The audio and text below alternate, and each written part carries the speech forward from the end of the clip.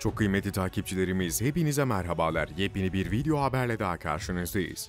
Ahmedinejad, Suudi Arabistan'ı 4'e, Türkiye'yi 3'e, İran'ı 6'ya bölmek istiyorlar. Değerli izleyenler, eski İran Cumhurbaşkanı Ahmedinejad, dünya güçlerinin bölgede uğursuz bir yol haritası olduğunu, Suudi Arabistan, Türkiye ve İran'ı bölmek istediklerini söyledi. Eski İran Cumhurbaşkanı Doktor Mahmut Ahmedinejad, dünya güçleri Türkiye'yi 3'e, Suudi Arabistan'ı 4'e, İran'ı 6'ya bölmek istiyor dedi. Independent Türkçe'ye konuşan Ahmedinejad, dünya güçlerinin bölge ülkeleriyle ilgili uğursuz bir yol haritası olduğunu biliyorum dedi. Ahmedinejad, Suudi Arabistan'ı 4'e, Türkiye'yi 3'e, İran'ı da 6'ya bölmek istiyorlar. Bölgedeki ülkeleri bölüp küçük ve zayıf devletlere dönüştürmek istiyorlar.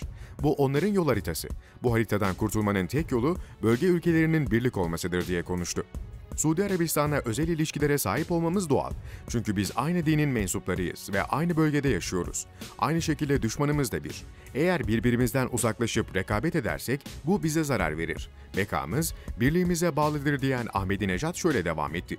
Kardeşler olarak bu anlaşmazlığa bir yere kadar yabancıların müdahalesinin yol açtığını düşünüyoruz.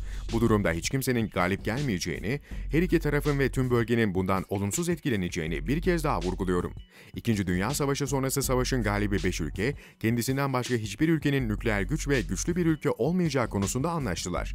Ve bu doğrultuda bir karar aldılar diyen Ahmedinejad, aynı şekilde Suudi Arabistan, Türkiye, Pakistan ve Irak'ın da güçlü ülkeler olmalarına karşılar. Ülkelerimizin güçlü ve saygın ülkeler olmalarını istemiyorlar. Zenginleştirmenin İran'ın güçlendireceğini düşünüyorlar. Bu onların değişmez politikasıdır değerlendirmesinde bulundu.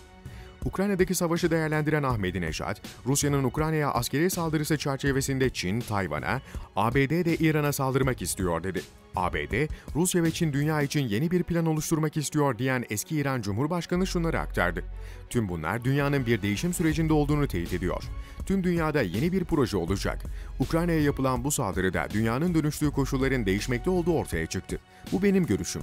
Sonuçlarını siz de göreceksiniz. Planın ilk bölümünü uygulamaya koyuyorlar. Biz bu planın uygulanmasını engellemeye çalışıyoruz. Çünkü birçok masumun hayatına mal olacak.